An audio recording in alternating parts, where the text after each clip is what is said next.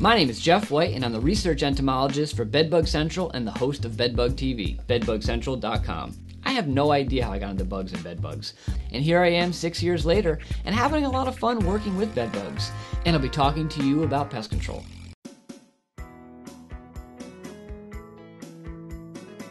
The last thing we all want is termites eating our investment.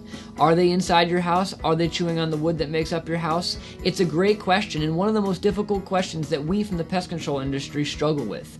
Identifying termites is a very difficult task. They lead very cryptic lifestyles, meaning that they hide very well and they're very difficult to see.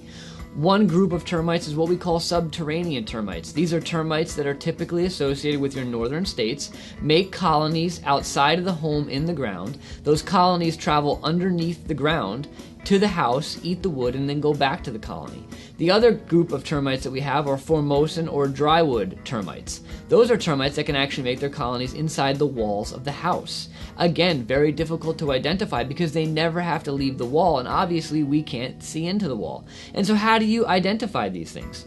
One of the easiest ways, and one of the ways most people find out that they have termites in their house, are by seeing what we call swarmers. Depending on the termite species, they're going to reproduce and try to spread their colonies at different times of the year. And so, what people will all of a sudden see are termites coming out of, say, an opening around their sliding glass door in their house, and then all of a sudden they'll see these winged termites flying all over the place.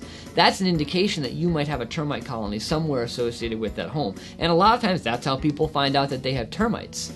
The other ways are detection systems. Pest control companies can install baiting systems around the house that the termites will chew on the wood inside these baiting systems and give us an indication that there might be termites somewhere associated with the home.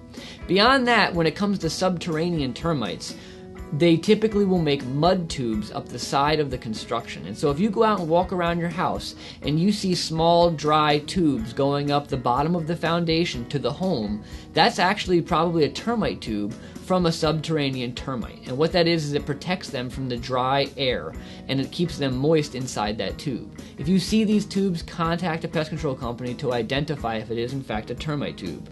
In terms of the drywood termites that live in the wall, you may see a hole where these termites are going into that wall, and then you'll see frass or fecal material just below that hole in the wall. Again, very tough for a homeowner to identify. If you think you have a problem, you may want to contact a pest control company to identify the situation.